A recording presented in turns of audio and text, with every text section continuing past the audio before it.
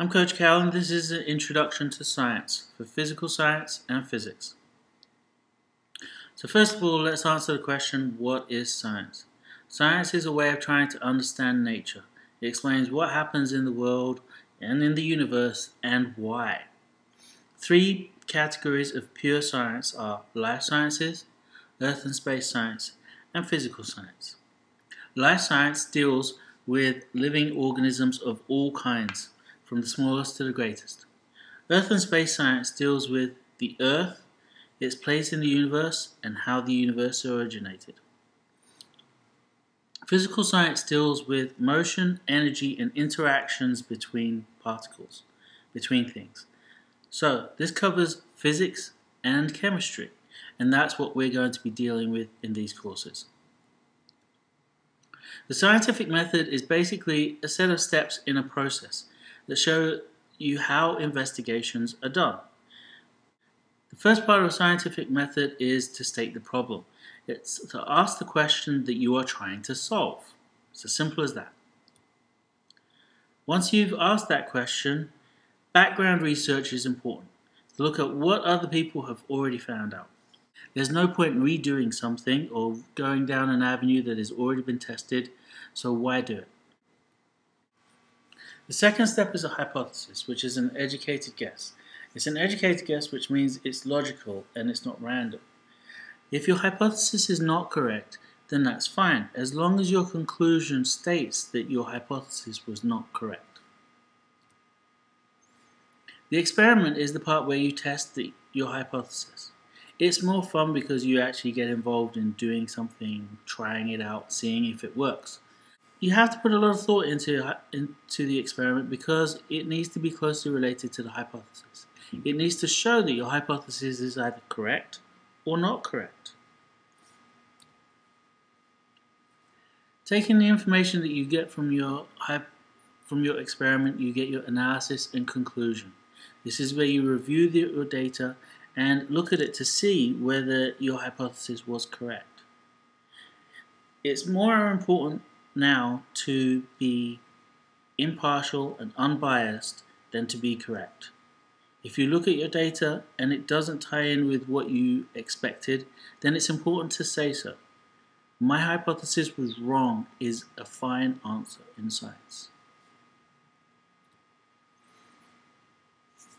Variables, constants, and controls. When we do experiments, we have variables which change, constants that we keep the same, and a control to give us a baseline. When we use variables, generally we try to change one and see what changes with it. The one that we change is known as the independent variable. The one that changes because of what we have changed is dependent on that and that therefore called the dependent variable. When we do controlled experiments, we only want to change one variable at a time so we can see that that is what gives us the result that we expected. Everything else stays the same. Doing an experiment under controlled conditions means being able to control these variables and not have external influences. Modeling is a way of simplifying what's happening to just see the effects that we want to look at. And there's many different types of models. You can model something via a diagram. Magnetic fields are a really good example of this. Formulas are actually mathematical models. E equals mc squared, for example. Models can also be simulations. They can be computer programs that react the way that you would expect them to act. And they can be physical models, models of atoms, or in this case, model of a bridge. Laws and theories. They may sound like they're the same and we may use them casually together, but laws and theories are actually very different. A law describes an observation. It states what it has been seen. It gives no reason why something happens. For example, the law of gravity will state that when the apple comes off the tree, it will fall to the ground. It won't give a reason for that. It will just say that the apple will fall. Theories. Theories are different to laws. Theories try to explain and give a reason for something happening, and they're based on a large number of experimental results that have confirmed that this seems to be the case. A theory is something that can always be replaced. It is not hard and fast. And it only takes one piece of experimental data that can be repeated and shown that this theory does not hold for that theory to need to be replaced by a different one.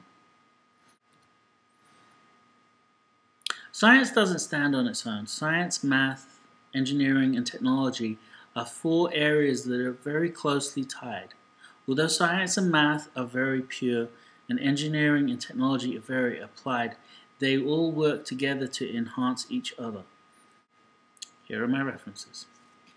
Okay, that's the end of the presentation. Now what I need you to do is make notes on the things that we've covered, do the examples that were shown in the PowerPoint if any, Write down any questions, at least two, and be prepared for continuing this stuff. We're going to carry it on in class when I see you. Okay? Goodbye.